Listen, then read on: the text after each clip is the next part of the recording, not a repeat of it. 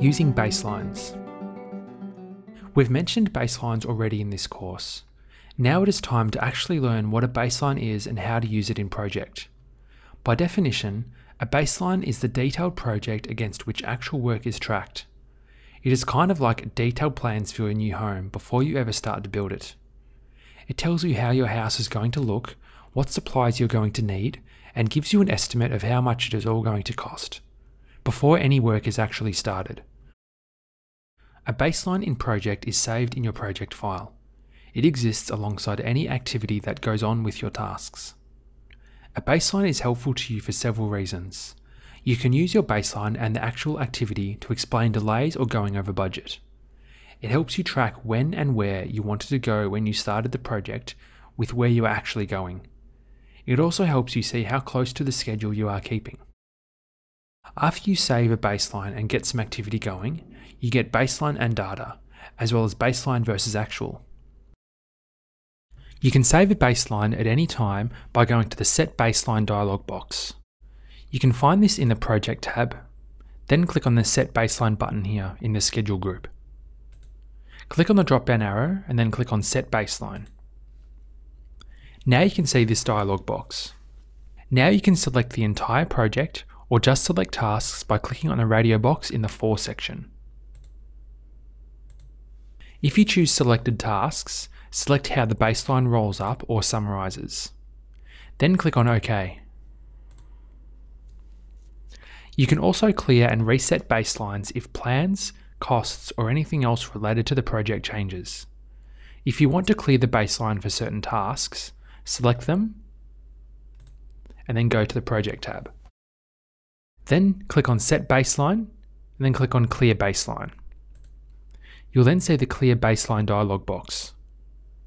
Select if you want to clear the baseline for the entire project or selected tasks. For this example, we're going to use selected tasks because we've already said to select those tasks. If you want to clear the baseline for the entire project, you simply wouldn't select tasks. Next, from the Clear Baseline list, Select the baseline that you want to clear. This here is the one that we've just created. Then click on OK.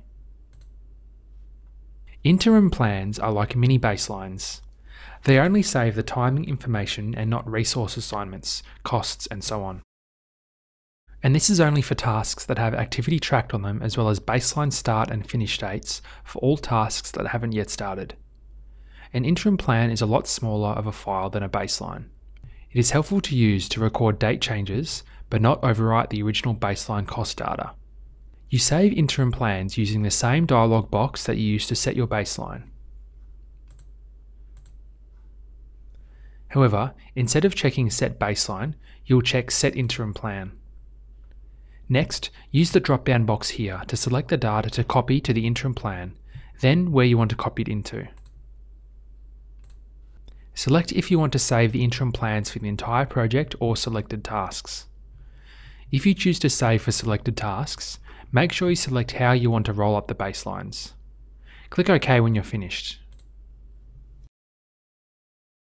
You can also clear and reset interim plans just as you did baselines. If you want to clear interim plans, go to the Project tab.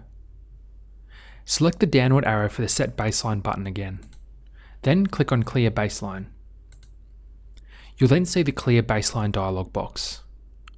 Put a check mark to the left of Clear Interim Plan. Next, from the Clear Interim Plan drop-down menu, select the interim plan that you want to clear. Select if you want to clear the interim plan for the entire project or for selected tasks. Then click the OK button when you're finished.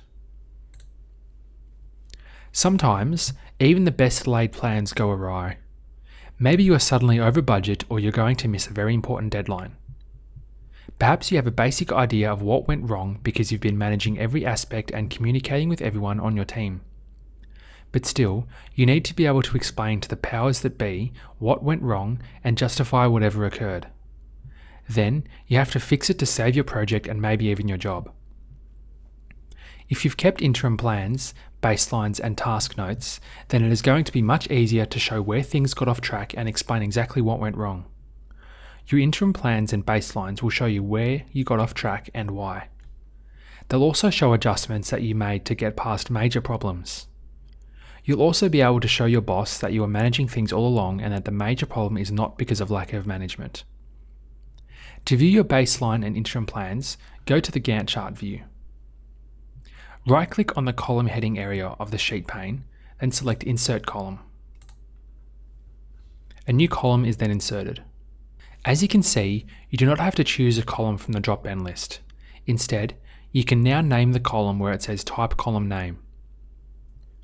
You might choose Start 1 to 10 and Finish 1 to 10 for an interim plan or Baseline 10 for a baseline.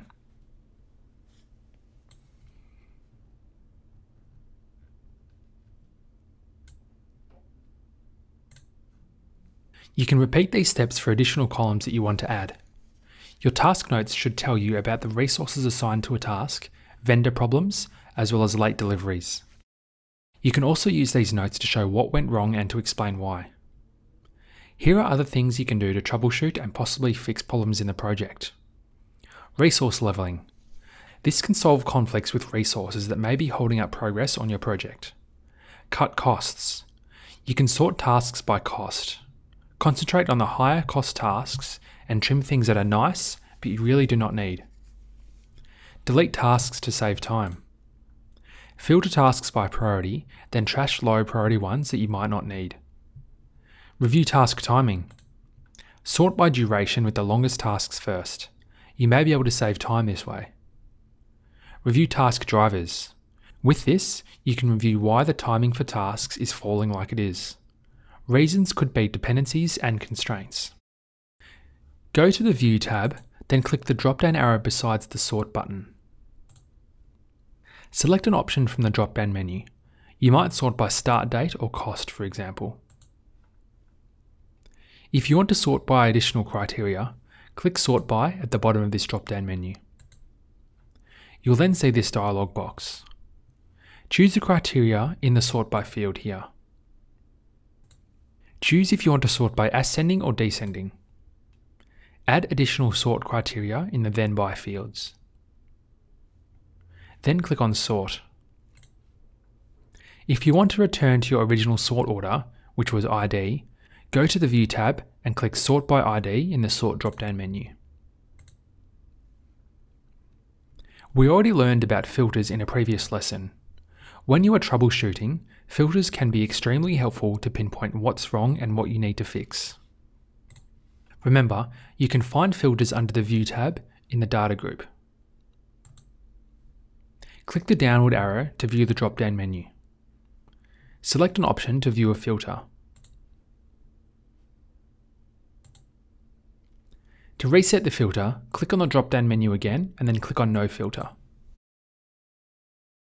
In this table here, you'll see a list of different filters along with what they display. This should help you isolate any problems much easier than if you tried to sort through all the information at once by yourself. For example, the critical filter displays tasks that have to be completed on time if you're going to make the final deadline or the critical path. This is a continuation with more filters and what they display.